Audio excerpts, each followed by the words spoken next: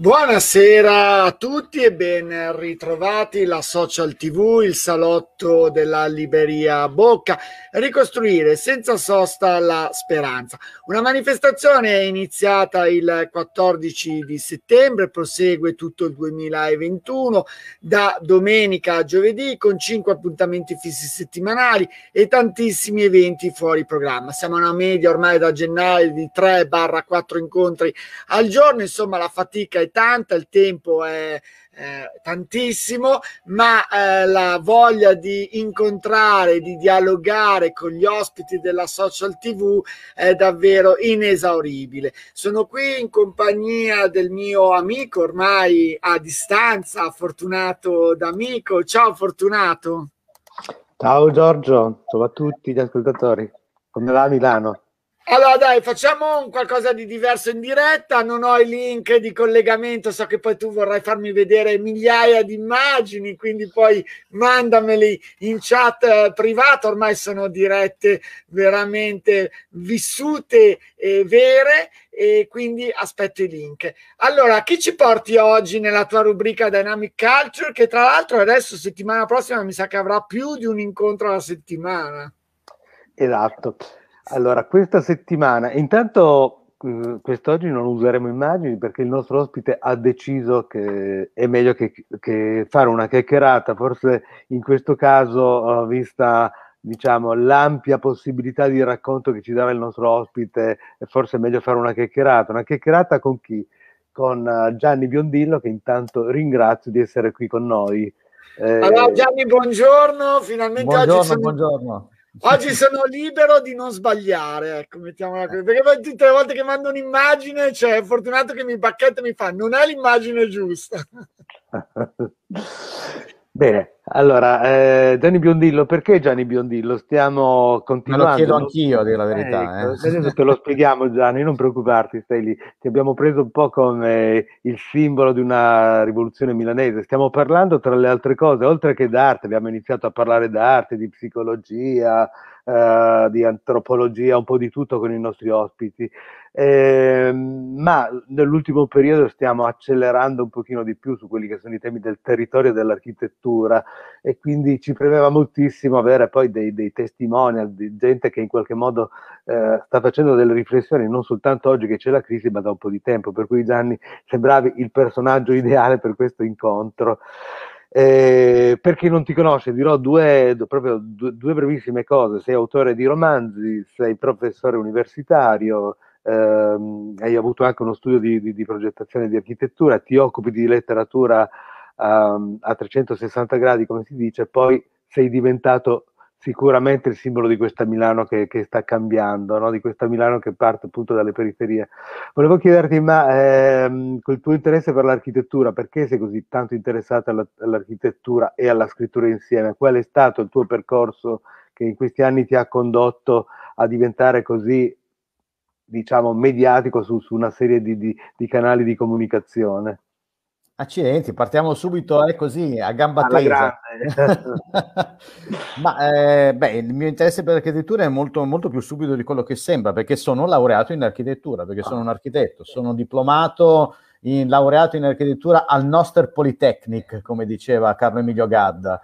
Lui era laureato in ingegneria, insomma io in architettura, però la solfa è sempre quella, cioè la cultura politecnica eh, mi, mi, mi, appartiene in qualche modo, la cultura politecnica, che poi è qualcosa che ha a che vedere non semplicemente con la tecnologia, o appunto poi se l'ar- l'architettura è questa curiosa disciplina che ti pone a metà strada, sei in mezzo ai venti, da una parte ci sono i tecnici, dall'altra ci sono gli artisti, non si riesce mai a capire esattamente che, che cos'è un architetto, no? È un po' come, io dico che, mh, come dire, è un coordinatore di processi complessi cioè non si sa esattamente che cos'è, non è quello che mette i mattoni uno sull'altro, non, non, non è neanche necessariamente uno che, che, disegna l'architettura in senso stretto, è uno che comprende che esiste un processo complesso che deve essere in qualche modo coordinato, un po' come il regista in un film, no? Il regista non è quello che scrive la sceneggiatura, non è quello che fa la colonna sonora, non è neanche quello che fa le inquadrature, no? né il montaggio, eppure, eppure diventa l'autore del film non lo interpreta, non fa niente di tutto questo. È un coordinatore di processi complessi. questa, questa, attitudine in qualche modo che mi è stata insegnata, che ho portato avanti anche nella professione vera e propria, perché ho, dico sempre che io sono tecnicamente un architetto, sono iscritto all'ordine degli architetti, pago l'INARCassa, faccio tutte quelle cose noiosissime per avere i crediti formativi ogni anno per non, per non uscire fuori dalla, insomma, per non, non, ricevere nessun tipo di sanzione, fa di me un architetto a tutti, gli, a tutti gli effetti, anche se poi nei fatti in realtà la professione in senso stretto, cioè il cantiere non lo frequento più da molto tempo, perché? Perché la letteratura, nel frattempo la scrittura mi ha rubato sempre più tempo e sempre più spazio. Eh, in un certo senso ho proseguito la progettazione non più con, con, con la matita, ma con, con, la tastiera, insomma, scrivendo. E progettare un libro, anche quello è in qualche modo una forma di progettazione, perché se tu hai questa idea appunto che ti viene, che ti hai incorporato della progettazione, poi la puoi applicare dove vuoi. Non è un caso che guarda che la maggior parte degli architetti che io conosco, poi gli architetti non lo fanno nella vita. Conosco architetti che fanno fotografo, c'è chi conosco architetti che fanno i designer, ci sono architetti che fanno i grafici, architetti che, che, che sono negli ovunque, insomma, siamo dappertutto come gli zombie.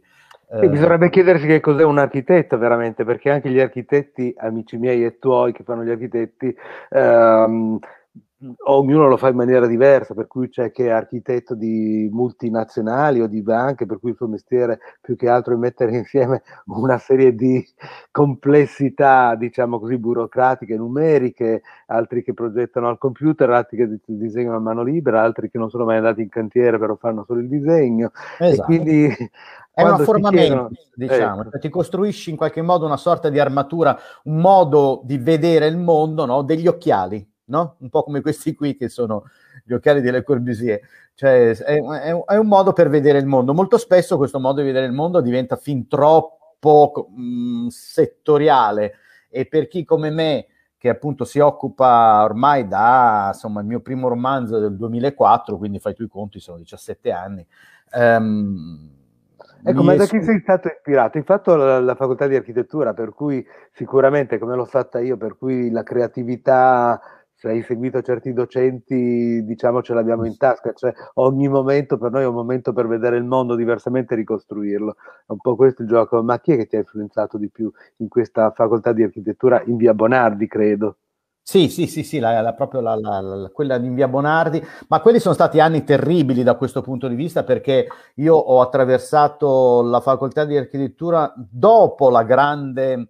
Eh, scorpacciata in qualche modo degli anni 70, della, della, del, della protesta, dei, mm, dei, corsi dove si facevano gli esami in 15 e uno solo parlava, gli altri 14 prendevano il 30 politico, cose di questo tipo, in un momento di grande ritorno all'ordine, quello degli anni 80, ehm, in qualche modo subissato da una cappa pesantissima del, che io chiamo del Aldo Rossismo, cioè Aldo Rossi era una specie di dio in terra eh, inviolabile, intoccabile e che nessuno si I poteva portoghesiani, per... i famosi portoghesiani, professori. Sì, che nessuno poteva permettersi in qualche modo di criticare. Infatti, una delle soddisfazioni che mi sono poi tolto il sassolino nella scarpa è che in un libro di qualche anno fa, in Metropoli per principianti, dedico un capitolo dove demolisco l'idea di Aldo Rossi, no? così come No, ma vabbè, poveretto. Che allora, ma io ti capisco benissimo perché ho fatto lo stesso percorso tuo, anche per demolire questo postmodernismo portoghesiano aldorossiano. Cioè eh, basta. Tutto insomma, il mio impegno per, per, per quanto fossero uomini colti, sono, cioè, certo. cioè, i loro libri restano capitali,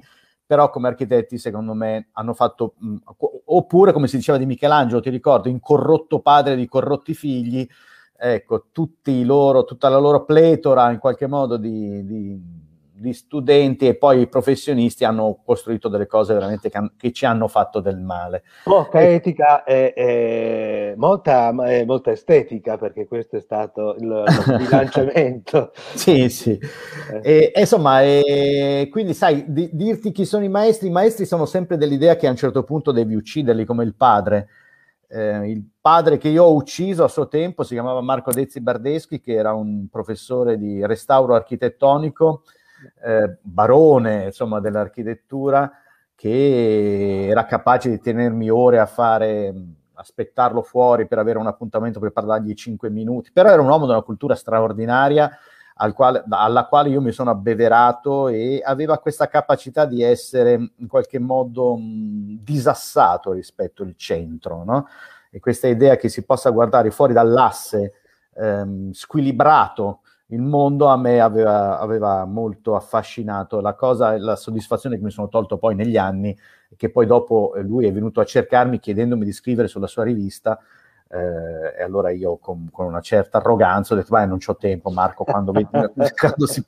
eh, no, poi l'ho rivisto proprio pochi mesi prima che, che, che morisse, poveretto, è stato molto, molto affettuoso, era, è stata una persona per me centrale, importante, però appunto i, i padri si uccidono, è una cosa che, che, ho detto anche quando andai a trovare, eh, quando andai a trovare Renzo Piano a, a Genova, eh, lui mi presentò i suoi studenti che adoravano ovviamente una, una personalità di, di, stiamo parlando probabilmente dell'architetto più famoso al mondo. E io ai questi ragazzi che venivano da, da, tutto il mondo ho detto ricordatevi però che i maestri bisogna cucinarseli e mangiarseli, come dice Pierpaolo Pasolini in Uccellacci Uccellini. Alla fine loro cosa fanno? Il corvo se lo mangiano, no? Cioè il corvo che parla e dice continuamente cose, a un certo punto deve anche tacere per dare spazio agli altri. Quindi ecco. così ho attraversato l'università e poi quando ho iniziato a scrivere ho pensato che era finita per me questo, questo mondo dell'architettura e mai come quando ho smesso di fare tecnicamente l'architetto ho iniziato a interessarmi di architettura in maniera sempre più radicale, a scrivere, a scrivere anche nei miei romanzi, vedo che stai mandando le copertine dei, dei, dei, miei libri, dei miei romanzi. Ecco, sono... senti, a proposito, tu stai parlando di, di, di, di assassinare praticamente il proprio, no, il il proprio padre. maestro, il proprio padre. Sì, sì, io tra l'altro il presidente della commissione di laurea era proprio Deggi Bardeschi con cui ecco. ho litigato durante la commissione Perfetto. di laurea pesantemente però a parte questo, lo ricordo con molta simpatia, um, ecco questa metafora, no? questa metafora del, del, l'abbiamo vista anche nel libro che è appena passato, no? di il sapore, eh, il sapore del sangue. Esatto, questa metafora dell'assassinio, in qualche modo bisogna ammassare i padri, rimane anche nella metafora dei tuoi racconti, in qualche modo. C'è sempre una trama gialla attorno ai tuoi personaggi, che sono poi oltretutto periferici. Devo dire un'altra cosa prima di, di, di, di farti parlare di questo. Mi sembra che hai, stai spostando l'attenzione di quella che era la Milano da bere, la Milano appunto degli anni Ottanta, magari tanto odiata da qualcuno di noi, nella periferia. E questo è veramente fa di te il simbolo, quando dicevo il simbolo della nuova Milano mi sembra quantomeno doveroso, sei riuscito a spostare il pallino almeno per una parte di, di, di gente che guarda il nostro territorio, da un'altra parte rispetto ai famosi terrazzi Martini, degli aperitivi e delle Milano della Borsa, degli Yuppies, no? Cioè sei andato da un'altra parte, questo mi sembra un'operazione Beh, ci sono andato per ragioni innanzitutto autobiografiche, cioè io quel mondo non mi appartiene, non è il mio mondo, non c'è niente da fare. Io vengo da, da un quartiere che poi è stato raccontato fin dal mio primo romanzo, che è Quarto Giaro, che in qualche modo le pino, cioè è, è la, quando uno dice di Quarto Giaro, quando io dico che vengo, vengo da Quarto Giaro, la gente subito controlla i portafogli, convinto che stia pronto a scipparglielo, insomma, no? Ed essere cresciuto in un quartiere del genere, con tutti i pregiudizi che c'erano nei confronti di quel quartiere, insomma in qualche modo nel bene o nel male ti forma e quella, quel mondo lì è il mio mondo. Io non ho fatto nient'altro. So, da questo punto di vista sono uno scrittore molto stupido, eh? cioè io racconto cose che, che, ho incontrato, che ho conosciuto, che ho vissuto. Um, e a me è sembrato naturale quando ho scritto il primo romanzo che, che era Per cosa si uccide ambientarlo in quel quartiere. Tu pensa alla cosa su- surreale, io mi sono inventato il commissariato di polizia di Quarto Giaro perché non esisteva all'epoca, no? Eh. Però la realtà che si adegua sempre alla fantasia, quattro mesi dopo che è uscito il mio primo romanzo, Per, co- per cosa si uccide, hanno inaugurato il commissariato di polizia a Quarto Giaro, no? Quindi pensa che, che ormai io scrivo le cose, le cose accadono, è una cosa abbastanza spaventosa. Ovviamente questa è la parte comica e divertente, però sì, hai ragione, l'idea di mettere al centro delle mie narrazioni la periferia è forse una delle poche scelte eh, politiche, ideologiche no, di tutto quello che io scrivo. L'altra, ad esempio, è che nei miei romanzi non c'è mai Piazza del Duomo. Cioè, il Duomo non viene mai raccontato, il Duomo non mi ha fatto niente, poverino, io voglio un gran bene, un capolavoro dell'umanità e figuriamoci chi non vuole bene al Duomo di Milano, però questa idea centripeta no, di vedere sempre Milano guardando il, a Piazza del Duomo è un'idea che ora che la città non è più una città ma è una metropoli policentrica, noi dobbiamo in qualche modo invertire. Io dico sempre, dobbiamo dare le spalle al Duomo no? e guardare in maniera centrifuga verso un territorio che è ormai smisurato. Pensare che Milano sia il Duomo, eh, Brera, eh, che sia il castello, che non ci hanno fatto niente, li vogliamo tutti bene, fanno parte di un pezzo della nostra identità, ma non è tutta la nostra identità. La mia identità è cresciuta appunto in quartieri popolari, proletari e sottoproletari. È il mondo che io cerco di raccontare da appunto dal 2004, dal primo romanzo, è questo mondo qui di gente che arriva penultimo, se non ultimo direttamente. Ehm, questo senza farne una, una questione come dire, questo è quello che io so raccontare. Poi, ad esempio, qui ecco. nell'incanto delle sirene ho raccontato anche il mondo dell'alta moda, ho raccontato, cioè, sto topografando, mettiamola così, di romanzo in romanzo sto topografando tutta la città. Ecco, senti Gianni, mi sembra che un po' riprendi la tradizione che era iniziata poi nel 51 con quel famoso film che si chiamava Miracolo a Milano, no? L'attenzione arriva in Piazza Duomo nella parte finale con una soluzione addirittura magica, no? Cioè, Beh, quindi... tu, tu, non lo sai, ma sei, eh. da questo punto di vista sei micidiale, ma oltre che Miracolo a Milano, uno dei miei film, come dire, dell'anima, ma io in questo momento sto proprio lavorando su un'antologia su Miracolo a Milano, cioè sto ah. chiamando studiosi, eh, gente di cinema, di letteratura, di musica, di architettura per fare un libro omaggio a Miracolo a Milano che vorrei uscisse entro la fine dell'anno perché quello è un film capitale, sono passati 70 anni ed è uno di quei, non so, dieci film della cinematografia italiana conosciuti in tutto il mondo, con tanto di Milano nel, nel, titolo. Questo vuol dire che questa città è in giro per il mondo grazie anche a quel film ed è un, in questo momento secondo me dovremmo chiederci quel miracolo, che cos'è oggi il nuovo miracolo, esiste un nuovo miracolo a Milano, non lo so, eh, che cosa significa, pensa, quello era un mondo dove si parlava anche di... Eh, mh, del dopoguerra, di, un, di una realtà di, di, carenza abitativa, dei barboni, dei poveracci, degli ultimi. Chi sono oggi gli ultimi? Qual è la carenza abitativa oggi? Quali sono i problemi no, di questa Milano che da una parte svetta con tutti i suoi grattacieli eh, incredibili e meravigliosi, ma dall'altra uno si chiede anche e poi no? che cosa ci sta attorno? Chi sono i dimenticati? Chi ce li racconta?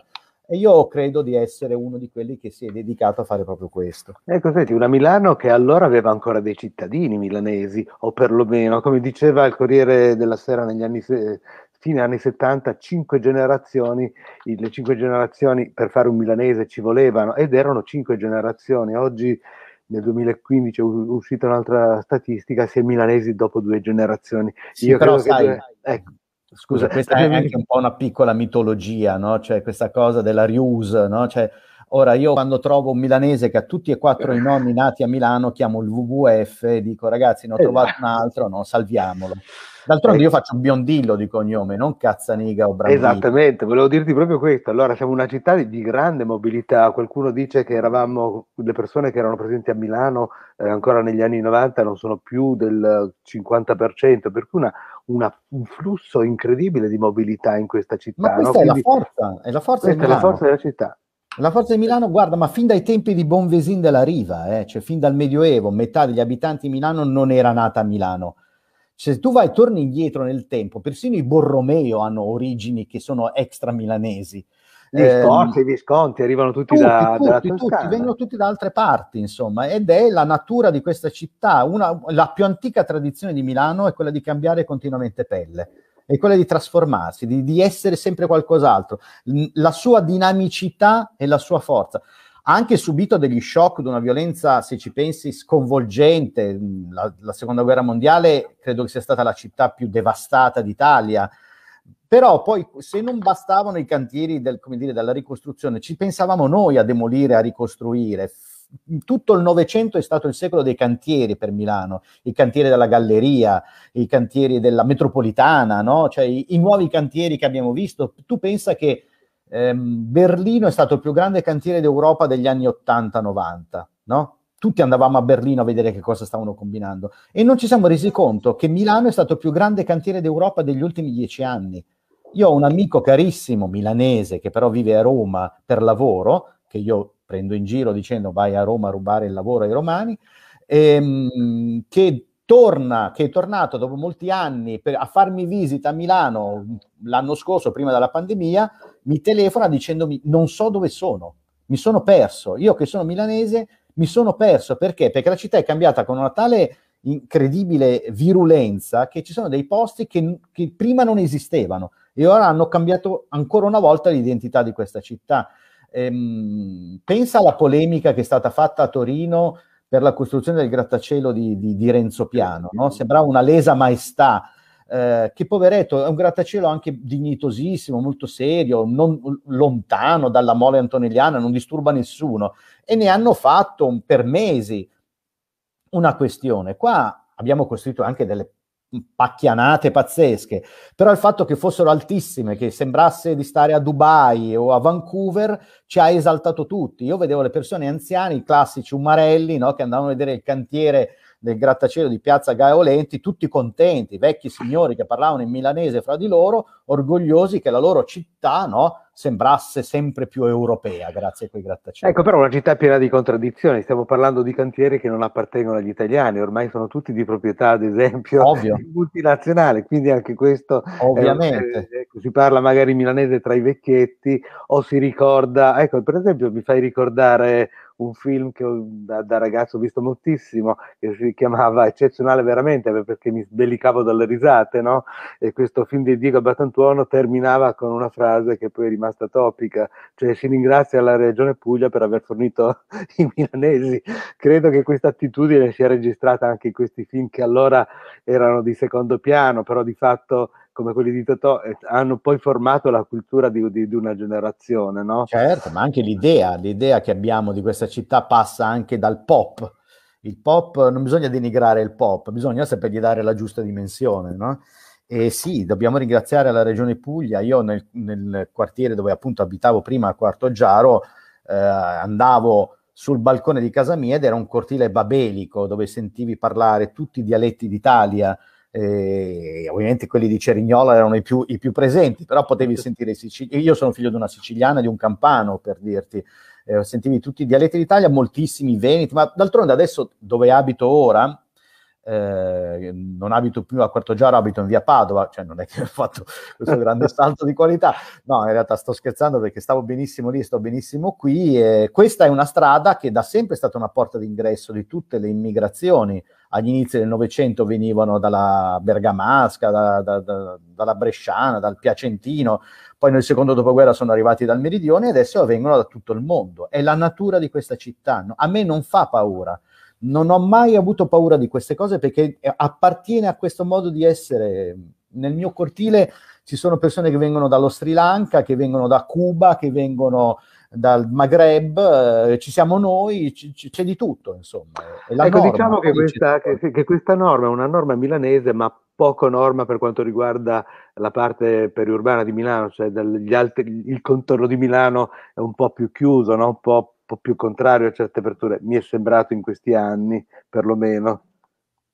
Ma sai, c'è un tentativo di, in qualche modo di bloccare il sistema identitario, no? Cioè c'è questa idea che eh, io mi devo riconoscere in un quadro fisso, immobile, bloccato, eternamente uguale a se stesso che però insomma già dal, dalla metafora della nave di Teseo no, sappiamo che No? La nave si muoveva e di volta in volta cambiavano il fasciame, le assi, eccetera. La nave che è partita non ha più un asse eh, di, quella che è arrivata. È ancora la nave di Teseo, quella lì. In realtà noi siamo in continua trasformazione e gli stessi eh, abitanti della provincia, che sono tendenzialmente sempre più resti al cambiamento, sono anche quelli in qualche modo più legati eh, strettamente affezionati al territorio, sono molto diversi da come erano i loro genitori, i loro nonni e i loro bisnonni.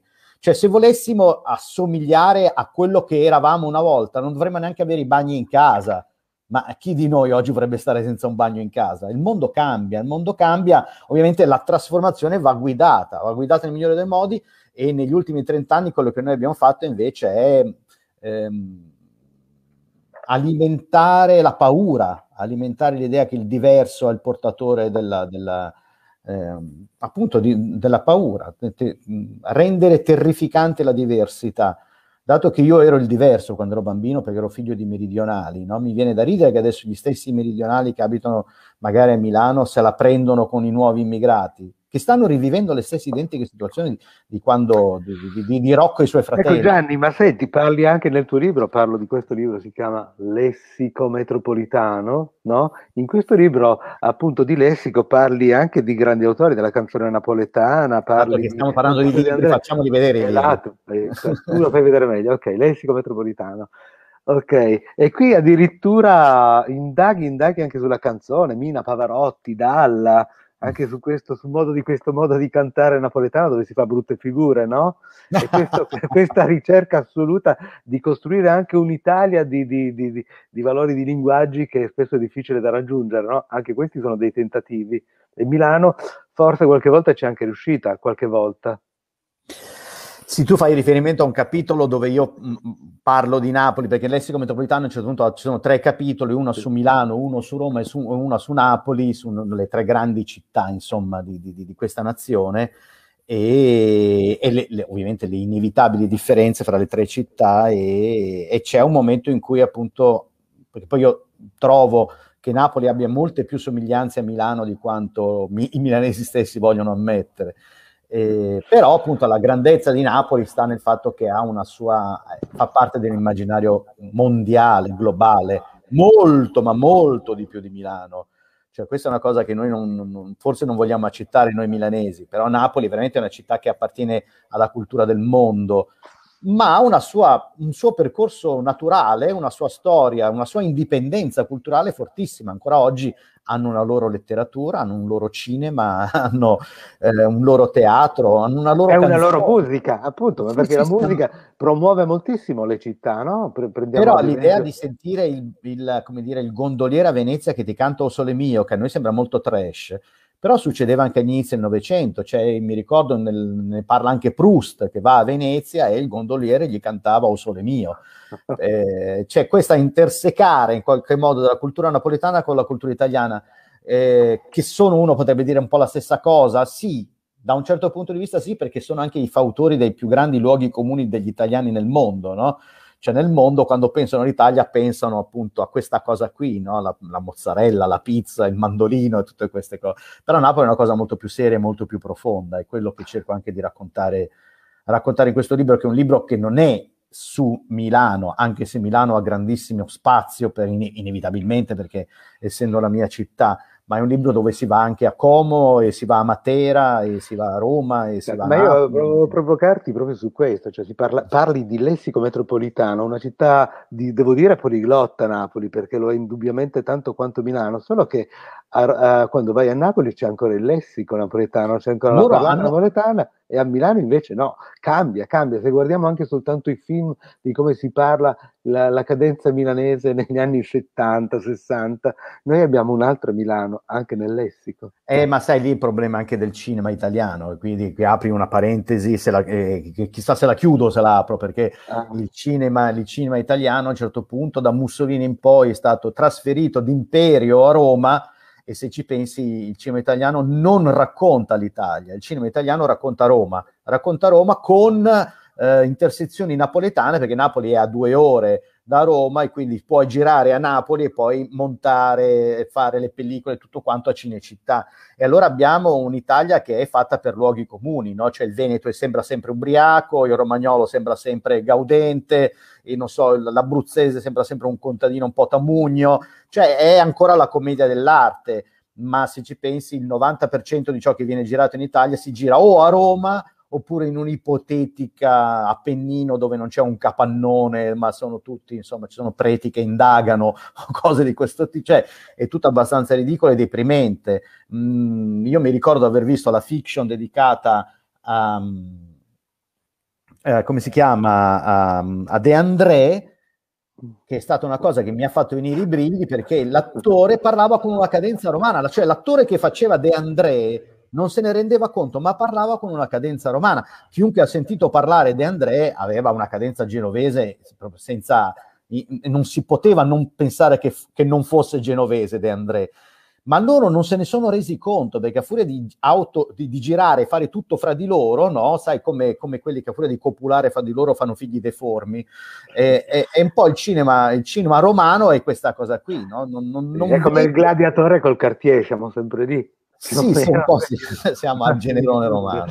Senti, ma in questo lessico metropolitano tu parli anche di design, parli di note aziende, facciamo pubblicità alla BNB per esempio, eh, Banche Busnelli, no? questo, questo aneddoto che pochi sanno. Eh, però sai, a Milano, nel mondo, anch'io girando, facendo conferenze, quando si parla di Milano negli ultimi anni gli si dà un pochino la colpa, forse ce l'eravamo già anche detto, un po' la città che consuma, consuma veloce il territorio, consuma veloce oggetti di design, è diventato anche un po' il simbolo di questo, no? questa città. Oggi, oggi chiaramente questa, questa situazione è messa in crisi, eh, perché, perché, siamo in un'epoca un po' particolare, ecco, ma eh, questa immedesimazione col design, che era quello del mobile, perché in realtà il design ha uno spettro di progetto molto più ampio, noi siamo stati anche capaci a portarlo su un settore ben specifico, magari scordandoci altre, altre capacità Ecco, tu pensi che questa immagine di questa Milano del design andrà avanti ancora? Tu che sei architetto, cioè la porteremo avanti ancora e diversamente nel mondo? È una, è una, narrazione, che ci siamo fatti, che, che, è stata vincente perché in effetti oggettivamente, diciamo, dal, dal secondo dopoguerra, noi abbiamo incorporato dentro l'oggetto di uso quotidiano una qualità artistica, no? che prima magari non esisteva in questo senso, mettiamola così. Abbiamo avuto dei veri precursori. Io racconto, c'è un lungo capitolo dedicato alla lampada d'arco dei fratelli Castiglioni dove spiego in qualche modo perché è un classico in tutti i sensi, perché è presente in moltissimi film eh, di Hollywood, no? insieme alla, alla Tolomeo di De Lucchi che è ovunque, non se ne può più, la vedo, ce l'ho persino in casa anch'io, eh, cioè perché è anche un bel oggetto, nessuno lo mette in dubbio. Quindi quella narrazione lì che è stata... Te la faccio vedere? Cioè, quella che, ecco, vedi, è inevitabile. Inevitabile. Eh, abbiamo in effetti prodotto una scuola, e questo non lo metto in dubbio, su questa scuola forse ci siamo un po' adagiati all'idea che no, siamo la città dell'alta moda, la città del design e quella, non so, dell'opera lirica, della, della scala di Milano. Questo racconto in qualche modo è consolatorio. E ovviamente oggi, in, una, in, in, un momento in cui fra cambiamenti climatici e um, problemi in qualche modo di smaltimento dei, della, dalla spazzatura, perché noi produciamo, ogni volta che produciamo cosa, produciamo spazzatura. Se non si pensa al ciclo, no? cioè se non si progetta non soltanto la lampada, ma anche cosa succederà quando la lampada smetterà di essere lampada, ragazzi, sono problemi veri, no? È, è uno degli argomenti che in qualche modo tocco anche nel libro. Io credo che questa narrazione ancora una generazione potrà resistere, ma poi non è che il resto del mondo è fatto di stupidi e noi siamo i geni, cioè togliamocelo dalla testa, quando il cinese avrà capito come, da, come si fa, lo fa. E i cinesi quando capiscono, capiscono, cioè non, sono, non, non imitano, comprendono, sono un popolo pazzesco. Cioè io, sono, io, ho mangiato una pizza napoletana fatta da un cinese che era più buona di quelle che ho mangiato a Napoli, insomma, cioè lo sanno fare. Eh, quindi certo. noi adesso stiamo esportando magari tutto questo sapere e la cosa che più mi fa paura è che non abbiamo più rispetto per quella cosa che io chiamo che è l'intelligenza delle mani. Cioè, la grandezza dell'Italia è stata che abbiamo sempre avuto degli artigiani, una manifattura pazzesca e non abbiamo fatto di questa manifattura la nostra vera ricchezza. Noi abbiamo voluto mandare i nostri figli a scuola perché non dovevano più usare le mani, senza aver capito che era proprio usare le mani la nostra forza. Che no? ci faceva umani per questo. Che ci faceva appunto umani per questo, sì. E, e insomma, è un discorso lungo, complesso e molto affascinante. Senti, in una Milano che oramai, come dicono tutte le statistiche, è in mano a un grosso gruppo internazionale di finanza che si chiama Andrangheta, no? che oramai fa rap- ha rapporti con tutte le banche, con tutto il mondo. Ecco, i tuoi personaggi della periferia che ah sono sì, incontrano, cioè, cioè, sì. sono, però in fondo sono come dire i residui di quella, di quella di quell'economia globale, no? Sono la ricaduta a terra in fondo, no? Poi quando, quando ti, ti ricordi quando un po' di anni fa la, la ex sindaca di Milano disse No, ma questa, la, la, la, la mafia non appartiene alla cultura milanese. Io ero morto dalle risate perché la mafia investe a Milano dagli anni 50, insomma, no? E cioè, raccoglie il denaro in quei territori del sud Italia, ma poi lo investe qui. Ma è inevitabile perché loro sono, sono sono menti criminali raffinatissime, insomma, dove ci sono i soldi attirano soldi, insomma, e la borsa di Milano attira quel denaro lì. L'economia globale è un'economia anche criminale e noi siamo un pezzettino di questo paesaggio criminale.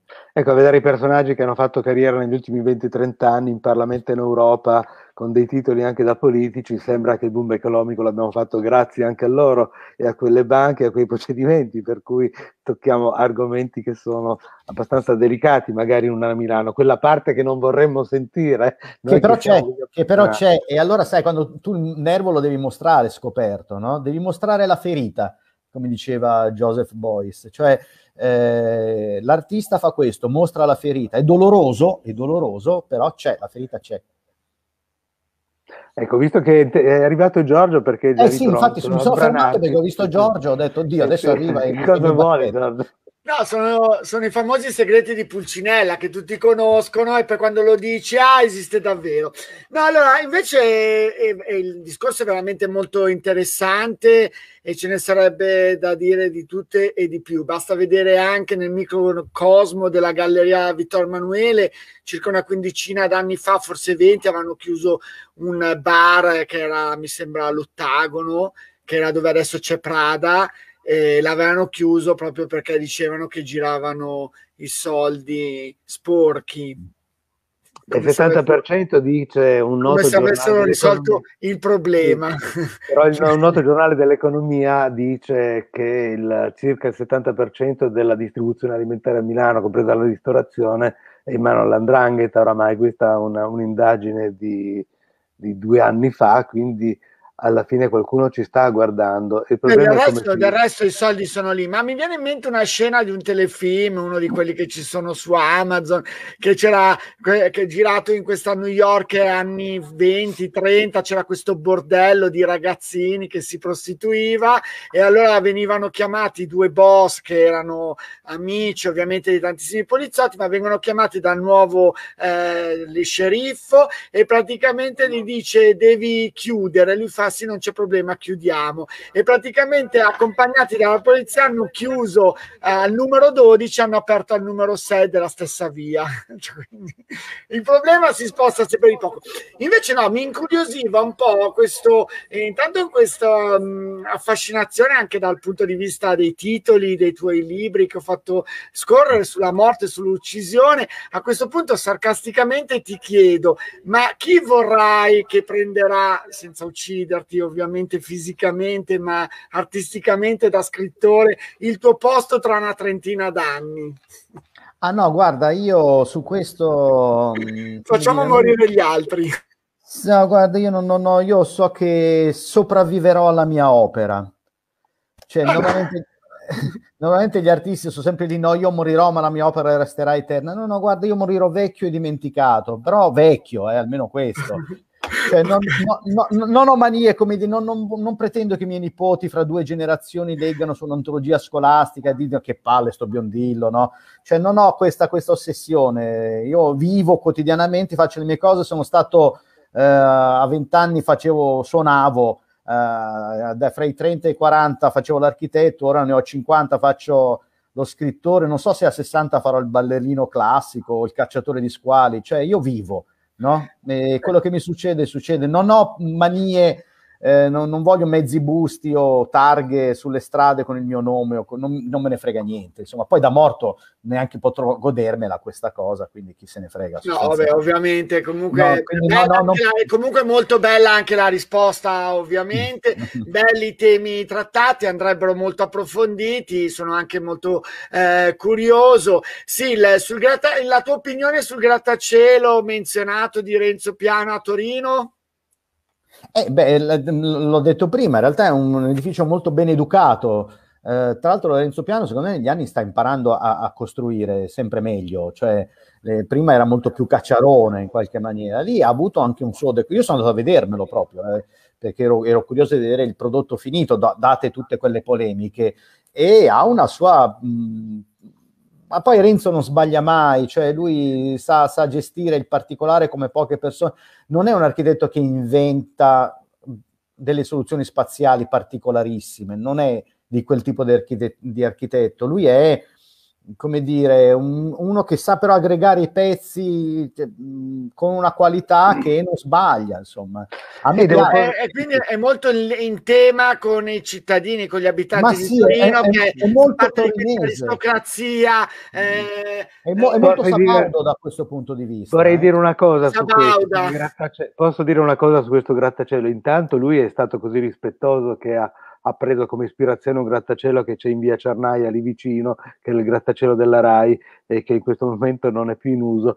E la polemica della città è nata per altri motivi, che quel grattacielo è stato imposto non dal comune, ma di chi è proprietario di quella banca dalla parte milanese, perché da quanto ne so io è stato imposto ai torinesi o fate il grattacielo o lo facciamo a Milano e quindi con grande spostamento della sede del, del San Paolo, qui queste sono le cose che io ricordo. Eh, però vedi come, come siamo, questo, ancora, siamo ecco, ancora un po' piccolini, un po' provinciali, no? Cioè... Siamo, ma che problema è, intendo dire? Cioè, è un atto, come dire, di arroganza bancaria, ma le banche sono arroganti, cioè non capisco dove sia il problema. Pensate sì, se questo... l'avessero, l'avessero dato in mano a chissà quale altro progettista, cosa avrebbe, chissà certo, quale certo. deiezione avrebbero messo lì in mezzo. Beh, a Torino sarebbe... è difficile, sai, perché gli architetti entrano col contagocce, un po' anche la ricostruzione della Torino, anche nelle periferie, è fatta da architetti francesi, attetti a certi circorsi, eh, discorsi. Fuxas centrato, ma anche con molte polemiche poi, eh. per esempio l'altro grattacielo di Fuxas oggi è sotto il mirino, quindi ogni Però, città... Sai, quando, quando, costruirono la Galleria Vittorio Emanuele alla fine dell'Ottocento, le polemiche furono infinite. Penso esatto. che fu inaugurata tre volte addirittura. Eh. E il, si racconta addirittura che il, l'architetto si suicidò perché non ne poteva più, non è vero, era caduto dall'impalcatura, eh. però s- arrivò a dire che cadde dall'impalcatura perché non ne poteva più di tutte le polemiche. E Poi anche le banche inglesi. E le banche scandali, inglesi. Bravo, scandali finanziari, bustarelle, sindaci arrestati, tu, tutto proprio il classico tutto il mondo italiano. Per oggi che cos'è? È il salotto di Milano. È il salotto di Milano e dei milanesi. Ma esatto. è sempre così. Milano è una città molto critica, basta, ma qualsiasi cosa, basta pensare anche l'opera eh, in, in, Piazza Belgioioso davanti alla borsa da, di un artista impronunciabile, ma va bene lo stesso. Quindi voglio dire, si lamentano tutti e poi alla fine eh, diventano esatto. delle, ma no, dei ma simboli. Poi, fra fra 50 anni i torinesi si andranno a vedere il grattacielo di Renzo Piano orgogliosissimi del loro che anzi è un, diventerà un luogo di identità per i Sabaudi, capisci? Ecco. Comunque Giorgio ha fatto una bella dichiarazione di oh mia, oh mia bella Madonnina, no? che su, tutti si lamentano, poi vengi tutti qui a Milano. Ma sì, ma poi è vero. no, ma è bello, è bello di noi milanesi. Forse l'unica cosa di cui non si sono mai lamentati o non abbiamo memorie così eh, antiche perché sono sette secoli e del Duomo di Milano. Ecco, no, anche su quello c'è stato da ridire sempre, sempre. Le, porte, la... le, porte, le porte, del Pogliaghi, sì, qualunque cosa. progetti che lo... non andavano sì, bene. Sì, il campanile che non c'è, la, le, tutte le polemiche sulla facciata del Duomo, pole, polemiche sempre, però poi alla fine si fa perché come, come, sai fai disfale sempre un Laura, no? Cioè... Eh, ecco. Gianni, si sono collegati tantissimi amici della Social TV, voglio salutare che è stata anche nostra ospite, tua Fortunato, la Bianca eh, Garavelli, la Silvia Capiluppi, eh, Riccardo Mereu che salutano. Eh, ascolta, volevo una tua opinione, visto che sei così sul pezzo, del nuovo centro fieristico milanese, comunque di quello che è ridotto rispetto a quello che c'era. Stai parlando quello di, di, di Ro? Sto parlando, vabbè, quello di Ro l'hanno un po' dimenticato, nel senso che sembrava dovessero fare eh, praticamente la città universitaria, la città della medicina, la città di questo, la città di quello, l'hanno mollato lì. E quello più in centro, fiera, la vecchia fiera, Milano. Ma quello, a quello che è ancora quello che è rimasto. City Life. No, no, City Ah, ok, eh, no, perché non stavo City capendo. Life. Stai parlando dei tre grattacieli di City sì. Life, City che, io non, che io chiamo i Triciuk. cioè che sono i due amici che tengono il terzo che sta per vomitare. No? Eh, ma adesso arriva la ciliegina sulla torta, lì vicino sì, sì, c'è sì. il nuovo progetto firmato Boeri, questo studio newyorchese. No, quello è un'altra cosa ancora, attenzione che stai confondendo. Melchiorre trova... Gioia, vabbè, eh, quella... eh, vabbè, ho capito, uno no, è Melchiorre Gioia, vabbè, ma tutto, Gaia Olenti, insomma, i nuovi grattacieli di Milano, da Gaia Olenti a fa parte, fa parte di quella, lo, lo racconto, facciamolo rivedere perché di libri che stiamo parlando quando... Eh, facciamolo rivedere. Eh, scusa, sei... Ma che libraio sei? Scusami, ma io non lo so, ma vergognati, dovresti farlo tu quello che sto facendo io. Eh, eh, ne parlo appunto in metropoli, e scusami, in lessico metropolitano, no? di tutta questa di questa smania no? di, costru- di, costruire continuamente Milano, anche se poi molto spesso si costruiscono cose un po', insomma, non, non esattamente eccolo qua, eccolo qua, ma poi ti dire, belle dal punto di vista strettamente architettonico. Però sai, quello ci interessa veramente poco, perché noi milanesi siamo strani, cioè a noi basta che ci siamo, basta che siamo nella volata, cioè che se si corre in bicicletta noi dobbiamo essere nel gruppo, magari non proprio in testa, no? Non siamo, non, noi ci vogliamo confrontare con Londra, con Parigi, con Berlino, ma quelle sono capitali, noi non lo siamo. Ma istintivamente no, ci piacerebbe un po' esserlo, mettiamola così. Certo. E quindi siamo ba- così vicini, vicini stare, all'europa. Certo. Basta essere lì, no? Senti Gianni, ma l'ispettore Ferraro, che lago il filo un po' come in Piazza Gaulenti di, tutti, di, tutte le tue trame, che personaggio è? Che personaggio è? Che personaggio milanese è questo ispettore Ferraro? Beh, è la persona che quando, non so, sali sull'autobus e gli pesti un callo, poi scendi, te lo sei già dimenticato. Cioè non è il super poliziotto, non è il genio del, eh, come dire, non, elementi criminali, non è, è uno che timbra il cartellino sostanzialmente, che fa il suo mestiere, poteva farne un altro, la vita gli ha fatto fare questo. Sono altri quelli più geniali all'interno del commissariato che mi sono inventato, come dicevo, a Quarto Giaro, che invece adesso esiste. Ehm, è uno che è un ministeriale, uno che timbra il cartellino sostanzialmente, però lo fa e il suo lavoro lo fa perché il naso, anche se non vuole ammetterlo, ce l'ha, il fiuto ce l'ha.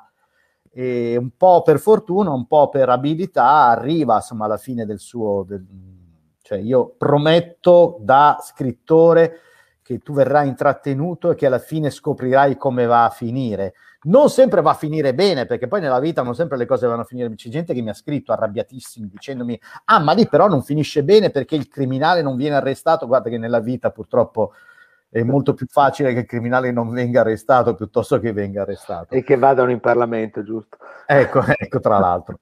Eh, quindi è questa roba qui. Ah, io sono molto affezionato a Michele Ferraro, eh, cioè ormai è uno di casa. Io a Natale metto sempre un piatto, spero che venga a trovarmi.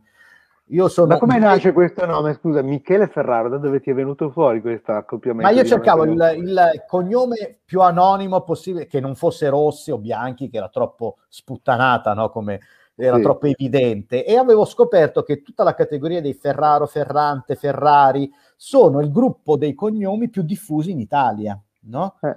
E Michele in realtà è un omaggio a mio padre che non c'è più, che appunto si chiamava Michele. Eh. Eh, quindi da qui è nato Michele Ferraro. Ehm, Io pensavo per Ferrante a Porti, pensavo che tu avessi no, No, no, no, no, no, no niente di tutto questo. Niente. Poi nel paese d'origine di mio padre ho scoperto, ma non lo sapevo, cioè ci sono passato centomila volte che esiste una piazza Ferraro e quindi, tra l'altro, una volta, una volta mi telefonò l'ispettore Ferraro, cioè uno che, che si che chiama... Si chiama... Cioè, ed è veramente un ispettore di polizia, no? Cioè, ho detto, oddio, mia, il mio personaggio esiste per davvero. No, è stato abbastanza divertente. Eh, però, però, però, sai, eh, io dicevo, sono molto affezionato a Michele e a Ferraro, e, però sono un pessimo scrittore di gialli perché non ne faccio uno ogni sei mesi come fanno tutti i miei mm, dire, colleghi, io ne faccio uno ogni due, tre, quattro anni addirittura, il che fa molto arrabbiare i miei lettori perché poi nel frattempo scrivo libri di viaggi, fiabe per bambini, romanzi storici con Antonio Santelia come protagonista, ehm, saggi di architettura e questo fa molto arrabbiare il mio lettore seriale che vorrebbe che invece ogni volta, ogni sei mesi, produca l'ennesimo giallo. Allora cerco di spiegare che io non sono furbo, ma sono onesto, sono scrittore onesto. Cioè scrivo il libro che in questo momento sento la necessità di scrivere. Magari il prossimo sarà un Ferraro, ma sarà perché ho deciso che sia veramente un Ferraro e non perché ci sia una sorta di spinta, no? di pressione per scriverlo. Eh, ma è già allora, pronto a questo punto mi viene una domanda, ma pensi di aggiungere una postilla di quello che stiamo vivendo? E questa è una grande questione, sai, durante, durante, il primo lockdown tutti mi dicevano, ah che bello, tu sei uno scrittore, adesso sei chiuso in casa, chissà cosa stai scrivendo, no? Starai scrivendo il grande romanzo sul coronavirus. E io dicevo, no, scusate, ma questi sono morti veri, cioè bisogna avere rispetto, questa è una tragedia vera. Io ero, come tutti voi davanti al televisore a vedere la conta dei morti. Io ho, ho, non ho praticamente quasi scritto nulla e ho letto molto di meno Cioè, per assurdo, avevo in teoria più tempo a disposizione e non riuscivo ne, persino a leggere. Poi per me scrivere significa uscire di casa, camminare, incontrare gente, fare... E tutta questa roba qui mi è stata esclusa. Mi sono sentito, mi sono sentito in qualche modo nei carceri domiciliari, insomma, i domiciliari. E c'è un capitolo in lessico metropolitano che, che, una delle poche cose che, che, sono state scritte, il libro doveva uscire prima e non è uscito per le ragioni appunto della pandemia e ho aggiunto questo capitolo che è iniziare a pensare la città post-pandemica in qualche modo, no? di fronte a questa, a questa realtà che ci ha negato uno spazio che pensavamo scontato, quello dello spazio pubblico, no? del marciapiede, della piazza. E allora quello è stato per me centrale, fondamentale. Scrivere oggi, in questo momento di eh, pandemia di coronavirus, mi sembra da sciacalli. C'è chi lo fa e fortunato loro che riescono a farlo. Io non dico che li invidio, ma li rispetto e non li sto giudicando. Io non ce la faccio. No, no, ma non, la domanda non è a scrivere solo della pandemia. Pensi che in futuro, nel, nel, in qualche racconto di Michele, inserirai anche quello che viviamo? ma sai, di... capiterà, capiterà per ma bisogna sapere avere la forza di saperci mettere anche un minimo di distanza. Guarda che se ci pensi, cioè, mh, ehm, tutti quelli che hanno scritto da, da La peste di Camus ai Promessi Sposi, eh, è tutta gente che la peste mica l'ha vissuta, cioè c'è, c'è, c'è, stato del tempo in mezzo, c'è stata una distanza, no? Che ti permette certo. anche di mettere più a fuoco magari quello che in questo momento stai vivendo e non è detto che lo stai capendo per davvero. Esatto, mi sembra un'ottima osservazione. Caro Fortunato, hai altre domande per il tuo ospite? Beh, io ne avrei moltissime, ma gliele faccio ancora in un'altra sede perché stiamo sforando il tempo e poi tu. Sì, ah, sì. siamo oltre i 51, ma è un piacere sentirlo parlare. Quindi siamo passati 5 Pensa se mettevo anche le immagini, non la finivamo più. Non finivamo più. Vabbè, certo. qualche immagine l'ho messa, dai, bravo, qualche bravo. libro che comunque la libreria Bocca non ha, perché è una libreria da 40 anni specializzata in arte, però va bene lo eh, stesso. E questa è architettura, scusami, non ho eh, ma certo. noi teniamo pittura e monografie di artisti, basta, perché è piccolina, mi spiace. Vabbè, però questo, caso, in questo caso si può fare un'eccezione. Dai, guarda che Ma l'abbiamo fatta l'eccezione. Tutti i libri presenti nella social TV, quando poi amplierò la libreria mettendo i tavoli fuori in galleria, mi li metto direttamente nel salotto dei milanesi. Allora, se non la trovate la libreria Bocca, cercatela nelle migliori librerie di casa vostra. Mi, se- mi sembra...